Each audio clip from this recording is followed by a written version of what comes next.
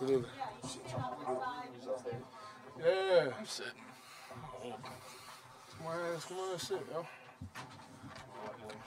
Two old heads in the chairs. Oh, jeez.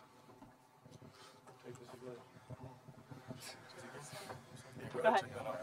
Cam, what were you thinking, feeling as this happened for the second time in five, six days, whatever it was?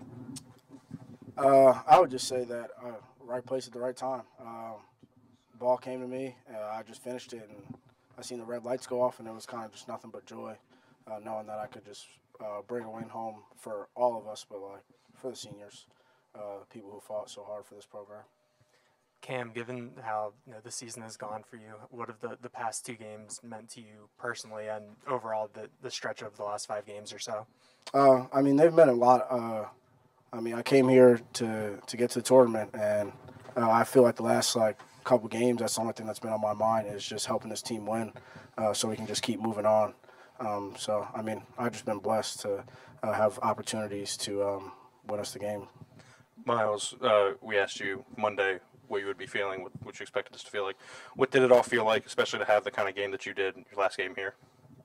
Um, I said it was gonna be emotional. I didn't expect it to be that emotional. Um, like I didn't, it didn't really hit me until like right before they announced my name in the senior night thing. I was like, wow, it's crazy. Um, and after the game, oh man, like to that's like a storybook ending. Like you can't picture it any other way. It feels like a movie. I believe you had one from the corner that got you going. I can't remember because you had so many. Yeah, I don't remember either.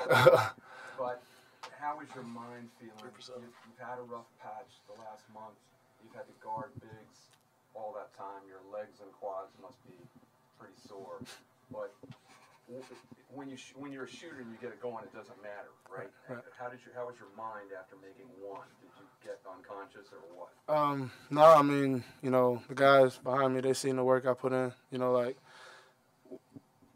just repetition, you know, make or miss. I can't let it, you know, affect my next shot. So, you know, no matter how many I missed in the past few games, like everybody here has faith in me to keep shooting.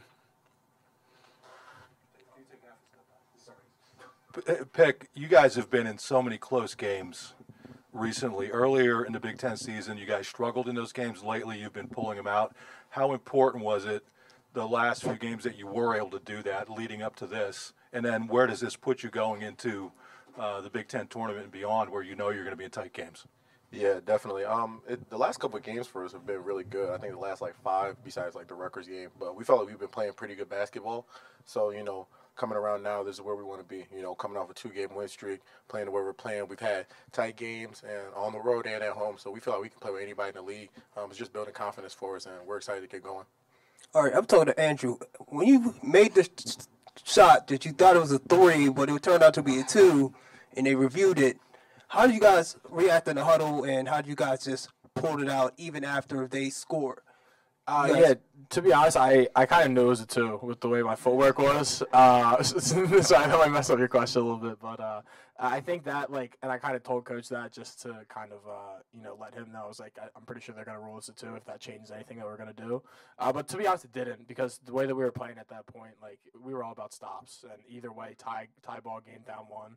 Uh, we had a lot of confidence in ourselves that we were going to get a stop and score on the other end. Um, so I think it ultimately boiled down to just having faith in the other guys that it doesn't really matter one or two uh, or two or three that uh, you know we're going to do what we need to do to win the game. Jalen and Seth um, on the last possession during the timeout. I guess it was 19 seconds. What did uh, Coach Shrewsberry want? And Seth, did that shot come about just uh, out of flow, or was that intense? Uh, I mean, yeah, it, it was definitely a flow. Um, when uh, Jalen drove to the basket, you know, uh, him being a great player, he's gonna draw a lot of attention. I think two guys went, and um, he turned around, made a great pass to me, and uh, I seen uh, Martinez, number 23, like he jumped on my right side as if I was about to pass the ball to Funk. So I just, uh, I figured I'd just shoot the ball, you know, just shoot it with confidence, and uh, you know, it came off, but it is what it is. I ran there to get offensive rebound. Uh, I tipped the ball right to Cam Wynter for for game. Did you you tipped it to Cam? Yeah. And Cam, what, what were you thinking when the ball's in your hand? Were you worried about the clock or not? Uh, no, I was just just go up. I'm under the basket. There ain't nothing, nothing else to do down there but go up. So uh, I knew that there wasn't too much time on the clock, and I got the ball.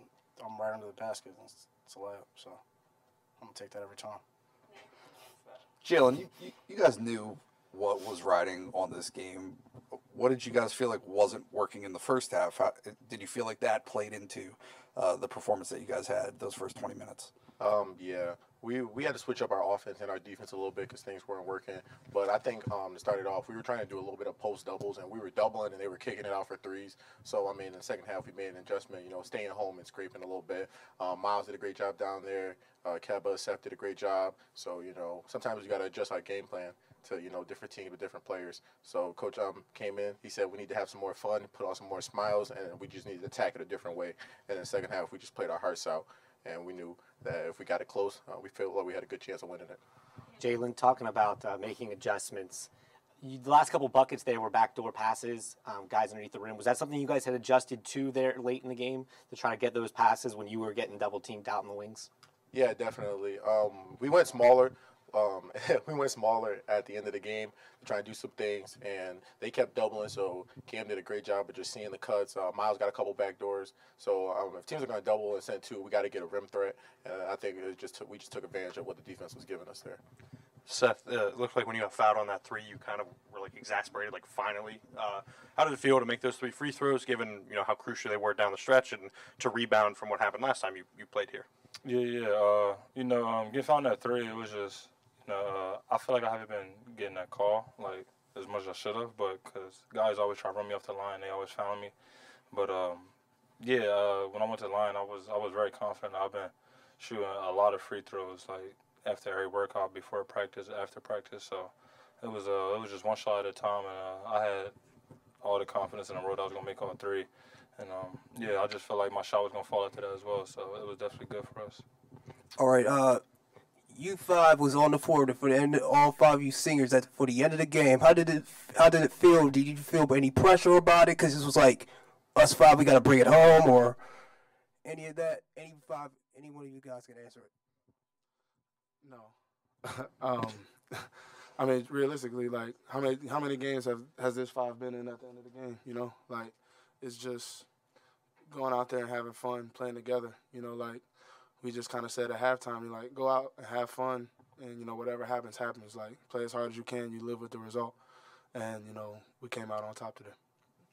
for Miles and then Seth, um, you know, the two guys who you've been here your entire careers, and to hear Micah, you know, recognize you after the game ended uh, in front of the crowd, you know, what did that mean to you, and you know, what um, I guess overall were, were the feelings to, to hear Micah, you know, talk about you guys like that?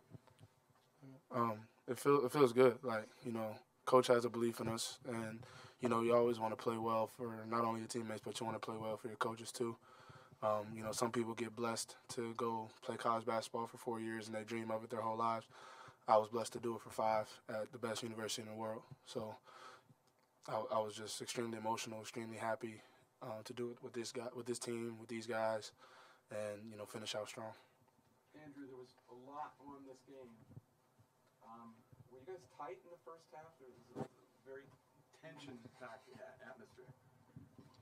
Yeah, I think uh, a little bit of that plays into it, and you know, we, we just played at Northwestern too, where it was their senior day, um, so we knew it was going to be emotional, and you know, we're, we're guys that we need to not play off those emotions as much and, and kind of settle down. I think it got us a little tight. Definitely had me a little tight in the first half.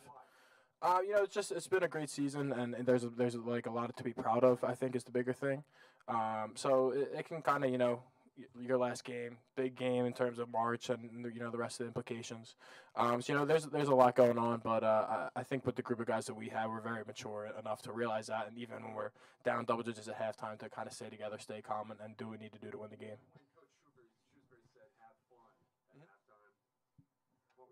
Yeah, definitely. Uh, you know, it you know it's kind of um, you know it's easy to say like have fun, you know, whatever. But uh, you know, it, it goes a long way. You know, when we're playing loose like that and the crowd's getting into it, uh, that's when we're at our best. And, and so I think that um, you know, kind of having that notion of you know we're like Miles said, we're going to go out do our best and uh, we'll live with the results. I think that really you know rings home. Seth.